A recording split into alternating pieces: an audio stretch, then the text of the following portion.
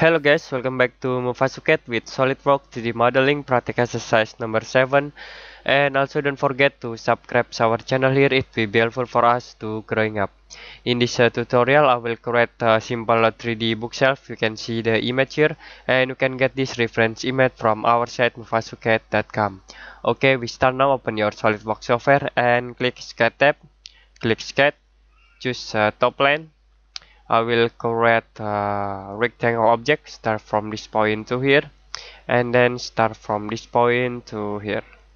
We give a dimension distance from uh, this uh, rectangle objects from uh, this point to this uh, point about uh, 46 okay and I will give dimension for uh, this lines about 10 and uh, in uh, here about uh, 18 okay we give also dimension in here about 10 and uh, this uh, dimension about 18 and okay. Okay next I will extrude uh, this object. You can click a feature type here and click extrude boss we extrude about one point. And okay Next, uh, select at uh, this face. We create a rectangle. Start from uh, this point to this point. And we extrude uh, this uh, rectangle object about one point. And okay, I will select at this face again. And we create a rectangle. Start from uh, this point to here. Okay, and start from this point to here we give a dimension in uh, this uh, line object about 1 and in here about 1 okay we extrude uh, this uh, two object rectangle about uh, 50 50 and okay. Okay we create uh, this 3d models and then I will create a rectangle. You can click at uh, this face. We create a rectangle. Start from uh, this point to here. We give a dimension. You can click at uh, this line object about one.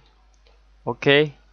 And then I will extrude uh, this uh, rectangle object about uh, 44 okay. And close okay we create uh, this uh, 3d model. Next I will create a rectangle. You can select at uh, this face. We create a rectangle start from uh, this point. Okay to this point. We give uh, dimension from uh, this line object about one. Okay and I will give a distance start from this point to this point in here about uh, 16 and okay we extrude again. This a rectangle object about uh, 44 and okay I will create a rectangle again. Can select at this face. We create rectangle start from uh, this point to here.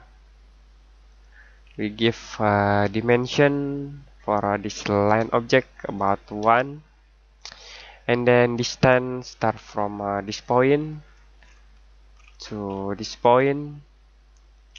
About uh, 16 okay we extrude again.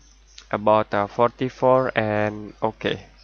Okay I will uh, rotate and I will select uh, this face.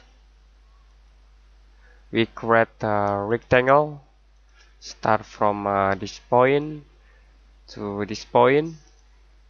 And then I will extrude into this uh, direction about uh, one point. Okay can see the result here. And click OK to finish. And we create uh, this uh, simple bookshelf. Next I will select at uh, this face. We create a rectangle start from uh, this point to here and start from uh, this point to here. We give uh, distance from uh, this point to here about 7 okay and in here too about 7 okay next I will give a dimension for uh, this uh, line object about uh, 8 okay and then for uh, this uh, line object about 8 and for uh, in this uh, line object about 1 and in here about uh, 1 can click here. And change into 1 and okay.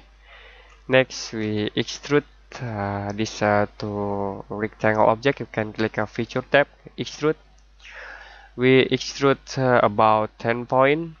Can click a 10 and okay. Next I will select at uh, this face. We create a rectangle again. Start from uh, this point to here. Okay I will give a dimension. This uh, line object about 8 and then I will uh, give a dimension for uh, this line object about 10 okay we create a rectangle again. Start from uh, this point to here. We give a dimension for this line object about 8 and for this line object about 10 okay and we extrude this uh, to a rectangle object you can click extrude boss here. Extrude about one point. And okay I will select at uh, this face and we create a rectangle. Start from uh, this point to this point. And then extrude to this uh, direction about uh, one point. And okay okay now we finish uh, create a simple bookshelf. Next I will apply material into this uh, object. I will change into perspective. Can click here and change into perspective. Okay. Next you can click uh, here. Setting and add-ins I will active uh, photo views 360 okay. And then you can click here appearance. Select uh, appearance colors I will use uh, organic and then wood. Okay I will select uh, wood uh, material. I will use uh, this uh, material. Can click here and drop drag into this part. Okay we apply to this uh, object. Next I will click here render tools tab and click scene illumination waiting for rendering passes uh, until uh, finish. And I will select uh, for the best rendering. Okay. I think it's enough and okay. And we try to render. You can click here preview windows. And waiting for uh, rendering uh, this uh, 3d object okay i think it's enough today for solidworks 3d modeling practice exercise number 7 if you have any question about this uh, tutorial you can comment below this video. And see you next time in solidworks 3d modeling practice exercise number 8